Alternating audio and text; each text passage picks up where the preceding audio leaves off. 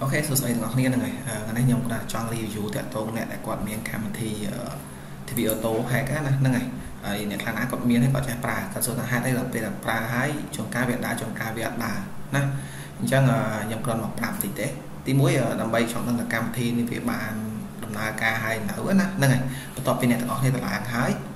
នៅពេលអ្នកទាំងអស់គ្នាប្រើអ្នកទាំងអស់គ្នាត្រូវធ្វើការ10បាក់คลิกលើវា10คลิกលើកម្មវិធីនេះណាប៉ុន្តែមុន10បាក់คลิกខ្ញុំចង់បញ្ជាក់តិច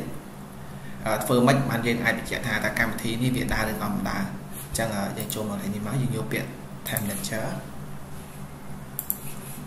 detail នេះមកអញ្ចឹងយើងរួមមើលឈ្មោះកម្មវិធីនេះតើវាមាន run នៅ background យើងនៅនេះអញ្ចឹងអ្នកទាំងអស់គ្នាអាចមើលបាន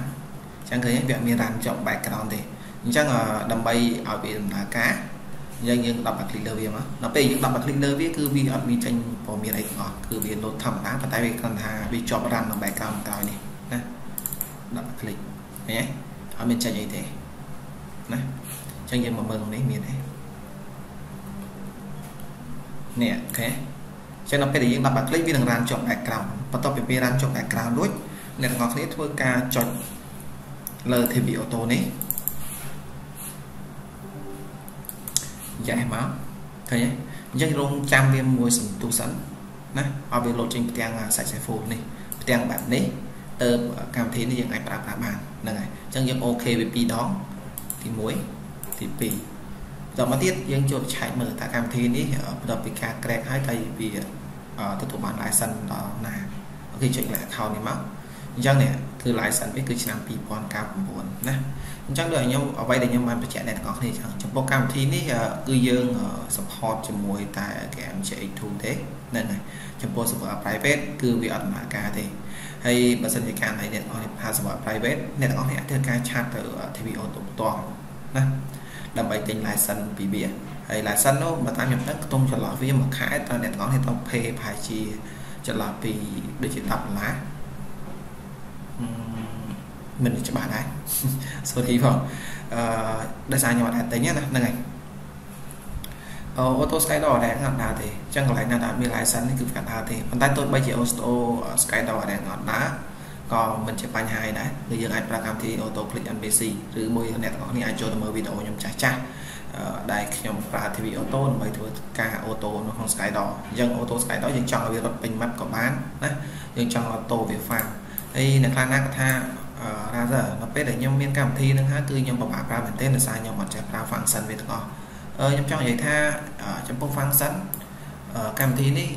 ខ្ញុំនិយាយថាគឺខ្ញុំប្រើក៏ខ្ញុំប្រើអត់ដែរអ្វីដែលខ្ញុំប្រើពេលបច្ចុប្បន្នគឺឆាតលើក្បាលនេះអឺនេះអានេះយើងងាប់ហើយយើងចុចលើវាវានឹងកើតមកវិញ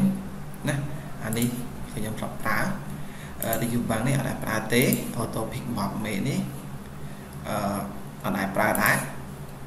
pick up item ខ្ញុំប្រើ sell item ខ្ញុំប្រើចឹង auto support នេះខ្ញុំធ្លាប់ប្រើ click NPC នេះគឺលក្ខណៈថា permanent ណាខ្ញុំប្រើរហូត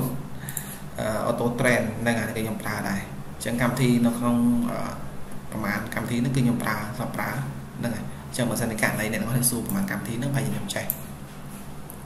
ប៉ុន្តែបើសិនជាករណីអ្នកនរនេះសួរថាអូខេតើមក TV auto ខ្ញុំចេះប្រើទាំងអត់អត់ចេះប្រើទេហ្នឹងហើយអង្គុយរៀមអង្គុយមើលអង្គុយធ្វើហ្នឹងហើយគ្មានអ្វីល្អជាងប៉ុណ្្នឹងទេហ្នឹងហើយកន្លែងនេះ function មួយនេះក៏ខ្ញុំអត់ប្រើដែរណាហើយអ្នកខ្លះណាក៏សួរខ្ញុំថាចេះទៀតក៏សួរខ្ញុំថាតើ យើងចង់អូតូដើម្បីជីក item ឬក៏ farm item តែយើងគួរប្រើកម្មវិធីនេះគេខ្ញុំតែ recommend ថាប្រើកម្មវិធីអូតូប៉ុន្តែគេមិនមែនប្រើមួយកម្មវិធីទេតាមធម្មតាគេប្រើ3កម្មវិធីទី1គឺកម្មវិធី TV Auto ទី2គឺកម្មវិធី Auto Skydoor ហើយទី3ដូចជា Click NPC ហ្នឹងឬក៏ Auto Transfer នេះនៅនឹងប្រើលក្ខណៈបន្តបន្សំទេហើយកម្មវិធីអស់ហ្នឹងគឺអ្នកទាំងអស់នេះអាចចូលទៅមើលនៅក្នុង channel YouTube ខ្ញុំបានណានឹងដោយសារខ្ញុំមាន record វីដេអូផុស ដូចជាខ្ទង់មួយឆ្នាំមុនប៉ុន្តែកម្មវិធីអស់ហ្នឹងវានៅតែប្រើបានទេហើយពេលបច្ចុប្បន្ននេះវាចិត្តចេញតកោថ្មីហើយណាអញ្ចឹងខ្ញុំជឿថាអ្នកទាំងអស់នេះគាត់ជាត្រូវការកម្មវិធី CVAT online ហើយហើយកម្មវិធី CV Vibe online នេះចំពោះវីដេអូខ្ញុំចាស់ចាស់គឺមានអញ្ចឹងអាចយក file ចាស់ចាស់ហ្នឹងមកប្រើគឺវានៅតែដំណើរការធម្មតាទេប៉ុន្តែទោះជាយ៉ាងណាក៏ដោយដែរដូចខ្ញុំប្រាប់ចឹងចំពោះអ្នកដែលលេង CX មួយចំនួនធំគឺគាត់ត្រូវការប្រើកម្មវិធី TV Auto ដើម្បីធ្វើការ farm item ឬគឺក៏ដូចជា auto burst មួយចំនួនហ្នឹងហើយ ខ្ញុំជឿថាគ្រប់គ្នាទាំងអស់ប្រហែលជាស្គាល់ហើយកម្មវិធី TP auto នេះណាហើយមួយចំនួនក៏បានផ្លេចកម្មវិធី auto skydor ចោលដែរតែចំពោះខ្ញុំ auto skydor គឺខ្ញុំប្រើសម្រាប់ login account TP auto ខ្ញុំប្រើសម្រាប់ farm my team ហ្នឹងហើយហើយ function នៅក្នុង TP auto នេះអ្នកទាំងអស់នេះគួរតែព្យាយាមរៀនប្រើវាបានច្រើនព្រោះវាកាត់បន្ថយការចំណាយយើងនៅក្នុង game ជាច្រើនមែនទែននឹងអាពេលដែលយើងចេះប្រើវាហើយដឹង function មួយចំនួនដែលយើងអាច farm នៅ item នឹងបាន អូខេអញ្ចឹងវីដេអូនេះមានប៉ុណ្្នឹងអូភ្លេចលើកមួយទៀតអឺចំពោះកម្មវិធីមួយនេះណានៅពេលដែលយើងប្រើវាអឺយើងត្រូវការ net framework version 3ចុចហ្នឹងហើយបានអាចដើរបានណាហ្នឹងហើយ OK អញ្ចឹងមានប៉ុណ្្នឹងអញ្ចឹងបើសិនជាករណីអ្នកមានចម្ងល់អី OK អាច chat មកសួរក្នុង page Razer បានណាហ្នឹងហើយ OK អរគុណ bye bye អូភ្លេចមួយទៀតហ្នឹងហើយអ្នកទាំងនេះចង់និយាយថាថាអឺ ចំពោះ link ដែលយើងប្រើមក C Rivat online ណាហ្នឹងហើយអឺ link C Rivat online ខ្ញុំនឹងធ្វើការតម្លាក់ខាងក្រោមវីដេអូនេះហ្នឹងហើយហើយរបៀប C អ្នកទាំងនេះអាចទៅមើលវីដេអូចាស់ចាស់បានឬក៏ចូលទៅមើល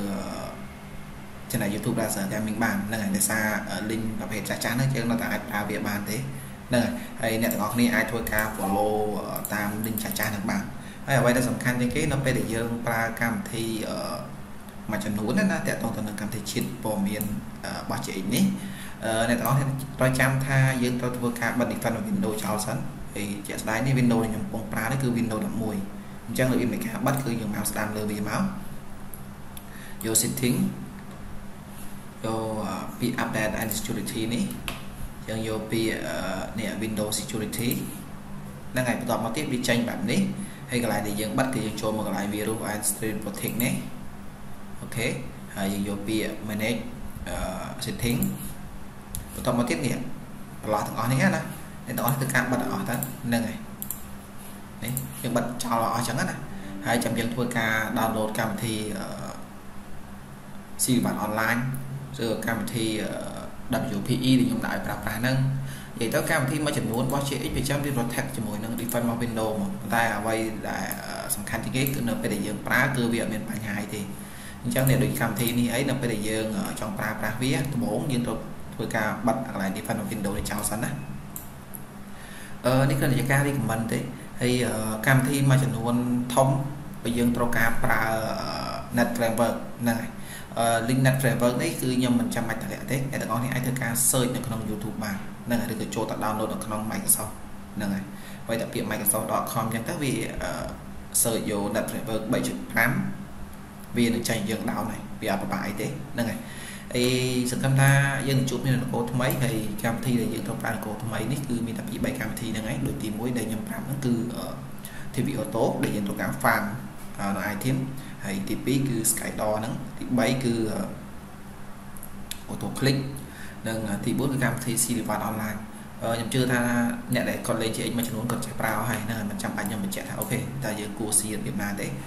របៀបប្រើគឺស្រួលទេប៉ុន្តែអ្វីដែលសំខាន់ជាងគេនៅពេលយើងទាញចូលម៉ាស៊ីនតើយើងទាញដោយរបៀបណាតែប៉ុណ្្នឹងឯងហ្នឹងហើយ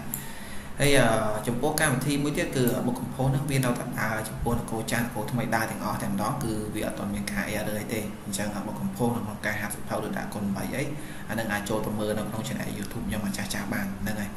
ហើយព្យាយាមមើល channel ខ្ញុំហើយកុំចុចវារំលងណាបើសិនករណីអ្នកទាំងអស់គ្នាមើលវីដេអូចុចវារំលងអញ្ចឹងចុងការតម្លាក់ឯង សំខាន់ហ្នឹងគឺវាត្រូវបានបាត់ហើយអញ្ចឹងដល់ពេលដែលបាត់យើងធ្វើអត់ចាញ់ទេអញ្ចឹងព្យាយាមមើលវាពីរពីរដងណាអឺអ្នកខ្លះណាគាត់ថាខ្ញុំផុសហើយខ្ញុំតែងតែលាក់តិចតួចខ្ញុំតាមពិតបើអ្នកទាំងអស់គ្នាមើលតើតងបុកកំផុសគឺខ្ញុំអត់មានលាក់ឯងដោយសារអ្នកទាំងអស់គ្នាធ្វើចេញខ្លួនឯងហ្នឹងហើយហើយខ្ញុំនិយាយទៅបើ chat ឲ្យខ្ញុំធ្វើ free ខ្ញុំមិនធ្វើ free ឲ្យទៀតទេនិយាយត្រង់ណាហ្នឹងហើយដោយសារគេនៅក្នុង channel ខ្ញុំខ្ញុំបានបលាវាចេញមកទាំងអស់ហើយអត់មានកន្លែងលាក់ឯង តែម្នាក់ទាំងអស់គ្នាធ្វើអត់ចេញឲ្យខ្ញុំជួយធ្វើអានឹងខ្ញុំគិតកម្រៃតិចតួចទេហ្នឹងហើយ OK អញ្ចឹងចំពោះវីដេអូនេះមានប៉ុណ្្នឹងណាហ្នឹងហើយ OK អរគុណ bye bye